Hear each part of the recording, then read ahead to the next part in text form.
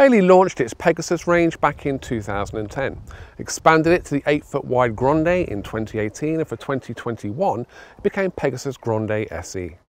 The name suggests it's a special edition and to my mind those grey sides do set it apart from run-of-the-mill touring caravans. The Pegasus profile keeps its clean lines at the front and the Bailey name in that front window. The Ancona is a five berth. It features pretty flexible sleeping arrangements. More about this shortly. It's a single axle tourer despite chunky wide body dimensions and it comes with AL-KO's AKS stabiliser hitch and trailer stability program. It's also got a spare wheel slung underneath the caravan. There's a 100 watt solar panel as standard plus mains and barbecue points for real al fresco or awning living. And up front is Bailey's trademark vertical central window and its sunroof. There's no gas locker here though. The gas bottles are on the near side close to the axle for better stability on tow in Bailey's view. The battery locker is set into the exterior of the van in the floor of the kitchen area.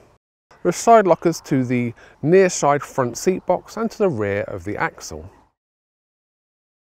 The front lounge features a pair of facing sofas, a central chest and it feels spacious thanks to that extra body width.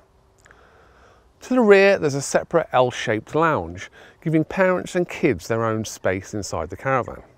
There are separate tables for each of these two spaces, a freestanding table for the front lounge and a small table with a poled leg for the rear lounge. Up front, built into the cabinet work are the media player speakers. LED lighting beneath the overhead lockers is directional and each light comes with a USB charger at its base. Heating is courtesy of Truma's blown air system and chunky pleated blinds to the windows help insulate this space. The kitchen is well equipped with plenty of space for food preparation. All of the appliances are on the near side. That is a fridge freezer and a microwave oven that's thankfully positioned not too high. There's a full oven with dual fuel hob, a large stainless steel round sink and a branded splashback. Main sockets and the Truma heater control panel are also located in the kitchen. The sink is a reasonable size and it's easy enough to get a kettle beneath that tap.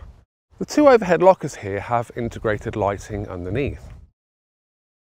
At night time, the front and rear lounge areas convert to sleeping quarters, partitioned with a simple concertina blind. Front lounge can be used as two single beds, measuring 1.9 metres each, or they can convert to a double bed across the width of the caravan. The rear lounge also converts to a double bed for children who are still happy to share a double bed, plus there's a single fold-out bunk bed for a smaller child. There's a chest of drawers and further wardrobe space at the foot of the beds on the near side.